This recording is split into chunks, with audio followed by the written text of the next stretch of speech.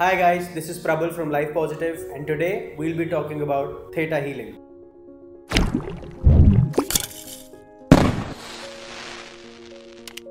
Theta Healing is a method that uses focused thoughts and prayers. It aims at breaking the barriers of relief at the subconscious level. Theta Healing helps to clear your thoughts and improves your thinking and focusing power majorly. There are a lot many Theta healers present around you and they organize lots many workshops, events, courses and even classes. You can connect with them very easily. All you have to do is log on to our website at lifepositive.com or download our app and register yourself for their events and workshops right away.